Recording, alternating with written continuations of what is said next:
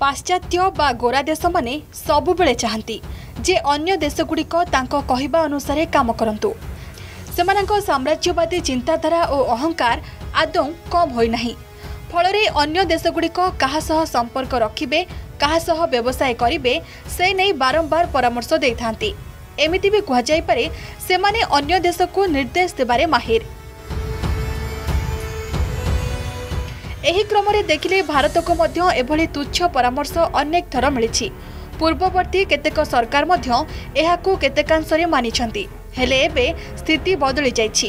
ଭାରତକୁ ଆଖି ଉଠାଇ ଦେବାକୁ ଗୋରା ରାଇଜର ମୁଖିଆମାନଙ୍କୁ କଡ଼ା ଜବାବ ମିଳୁଛି।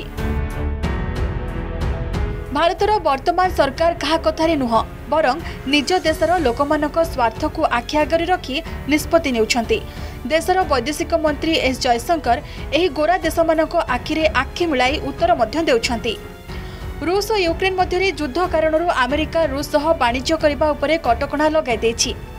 ଏହା ସତ୍ତ୍ୱେ ଭାରତ ତାର ନାଗରିକମାନଙ୍କ ପାଇଁ ଅପେକ୍ଷାକୃତ କମ୍ ମୂଲ୍ୟରେ ତୈଳ କିଣୁଛି ଯାହା ପାଶ୍ଚାତ୍ୟ ଦେଶମାନଙ୍କୁ ହଜମ ହେଉନାହିଁ।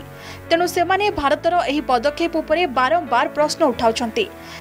ଯାହା ଉତ୍ତରରେ ରାଷ୍ଟ୍ରହିତ ସର୍ବୋପରି ଏବଂ ଏଥିପାଇଁ କାହାଠାରୁ ଭାରତକୁ ସାର୍ଟିଫିକେଟ୍ ଆବଶ୍ୟକତା ନାହିଁ ବୋଲି ସ୍ପଷ୍ଟ କରିଛନ୍ତି ଜୟଶଙ୍କର ଜୟଶଙ୍କର ଥାଇଲାଣ୍ଡର ରାଜଧାନୀ ବ୍ୟାଙ୍କକ୍ରେ ଏଥର ଏକ କାର୍ଯ୍ୟକ୍ରମରେ ଯୋଗ ଦେଇଥିବା ବେଳେ ଏହି ପ୍ରସଙ୍ଗ ଉଠିଥିଲା ଯାହା ଉତ୍ତର ଖୁବ୍ ଚମତ୍କାର ଢଙ୍ଗରେ ଦେଇଥିଲେ ଜୟଶଙ୍କର।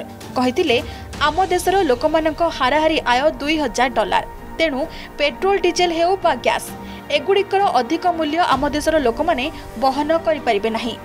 ସେମାନଙ୍କ ପାଇଁ ସବୁଠାରୁ ଭଲ ଡିଲ୍ ସୁନିଶ୍ଚିତ କରିବା ମୋର ଦାୟିତ୍ୱ ଓ ନୈତିକ କର୍ତ୍ତବ୍ୟ।